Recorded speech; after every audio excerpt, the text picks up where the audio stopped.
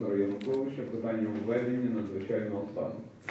Щойно прийшло повідомлення про те, що Служба безпеки України розпочала впровадження про захоплення влади, яку ніхто не захоплює, тому що влада належить народу України.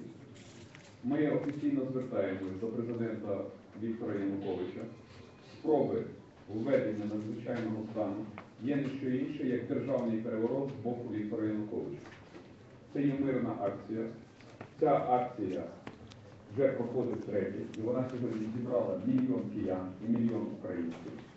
І у тому випадку, якщо президент Янукович буде намагатися незаконно порушення української конституції волі українського народу зберегти себе при владі, ми офіційно заявляємо про те, що перше, ми, як штаб національного спротиву, не дамо Віктору Януковичу узурпувати владу. Друге, ми звертаємось до всіх правоохоронних органів і збройних сил не виконувати незаконні накази. Третє, ми звертаємось до всіх українців у випадку введення надзвичайного стану всі на Майдан. Дякую. Офіційна заява буде зараз на сайті нашого штабу. Арсений Петрович, добрый день, радио «Эхо Москвы», Татьяна Милзаева. Нам тоже, журналистам, говорят о, о том, что готовится что-то. Говорят в том числе о насилии, которое могут применить уже сегодня ночью. Что бы вы могли сказать людям, которые там, которые сейчас на площади? Есть ли вероятность этого? И что делать, если э, власть все-таки решит применить силу? Спасибо. Застосування вам по-русски, можно украинский? Начну с того, что администрация Виктора Януковича предупр- предупреждена нашими западными партнерами. Любое применение к силы, к мирным демонстрантам закончится не просто введением визовых ограничений, не просто арестом счетов и активов всех, которые поддерживают этот режим, но и изоляцией и в том числе уголовным преследованием по отношению к тем, кто дает приказы бить людей. Второе. Это мирная демонстрация. Ни одной провокации, ни одного насилия, ни одного государственного здания не захвачено мирными демонстрантами. Третье. Мы пикетируем все государственные органы. Поэтому центр Киева стал территорией, демократической территорией для пешеходов. Кто хочет пройти, пожалуйста, пускай проходит. Четвертое. Скорые помощи, машины пожарные, машины, которые обеспечивают жизнедеятельность, свободно проезжают и будут помогать людям, если это необходимо. Пятое. Все, которые находятся тут на Майдане, не должны расходиться. Это самое главное. Чем больше нас, тем сильнее мы. Мы выставили четких три условия, на которые Виктор Янукович не дал ни одного ответа. Причем условия не просто понятные, а условия, которых требует страна. Отправить доставку правительства Азарова, освободить тех, кого незаконно содержат в тюрьме, и арестовать тех, которые незаконно били людей. То есть более понятных требований мне даже тяжело представить. Если они думают, что они через введение чрезвычайного положения смогут передавить ситуацию, наш ответ следующий. Это только обострит ситуацию, и вина за, не дай бог, любое кровопролитие будет лежать персонально на Викторе Януковиче. Мы мирные люди, мы мирно требуем того, чтобы народ Украины не просто услышал, а чтобы власть работала на свой народ.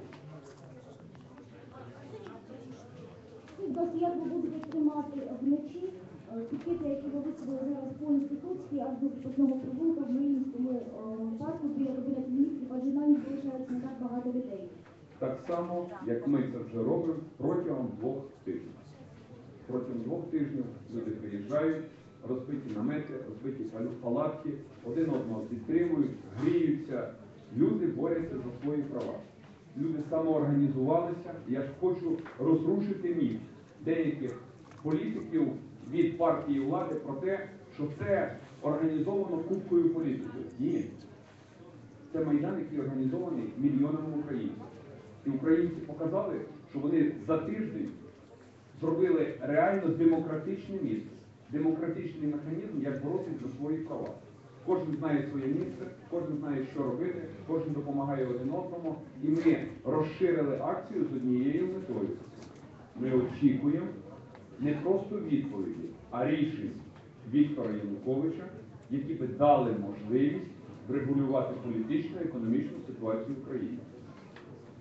Зволікання з прийняттям цих рішень тільки погіршує ситуацію. Саме не розсусити. Будь ласка, партія регіонів фокусує увагу саме на Яценюку. Сьогодні на сцені був зачитаний лист Юлії Тимошенко, в якій вона пропонує свій план. Вона каже, що головне це відставка президента, а не уряд. Вона пропонує створити трибуну дипломатичну, антикорупційну, яка буде переговори з військовими. Чи ви будете створювати те, що пише листі Юлія Тимошенко? Ми працюємо над виконанням спільних планів. У нас є пропозиції і від Юлії Володимирівни, пропозиції від культурної еліти, пропозиції від мистецької еліти, пропозиції від наукової еліти, пропозиції від громадськості. У нас є комплексний план, і цьо- цей комплексний план практично у всьому сходиться. Тому те, про що ви сказали, зараз робиться, ми активно над цим працюємо. Сьогодні, сьогодні е, 8 грудня 2014 року. Річниця першого конституційного перевороту 8 грудня 2004 року. Ви знаєте, що рішення Конституційного суду це констатувало, що зміни Конституції були незаконні. Ви сьогодні тільки що сказали, що якщо буде введено е, надзвичайний стан, ви його розцінюєте як узурпацію влади.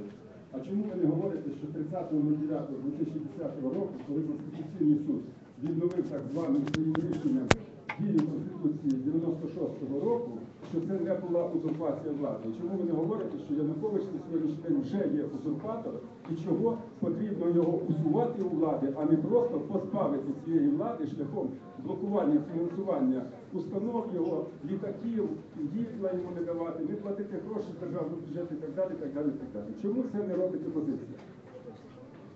Що стосується чинної конституції, то ця конституція в неконституційний спосіб була прийнята не народом України, а купкою кишенькових суддів Конституційного суду. Саме тому опозиція заявила тоді, коли Конституційний суд всупереч волі народу змінив конституцію, такий конституційний суд повинен бути ліквідований. Конституційна процедура була порушена. І ми ставимо перших три вимоги для того, щоб далі вирішувати політичну і економічну кризу, в тому числі і те, що стосується внесення змін і доповнень до Конституції. Дякую.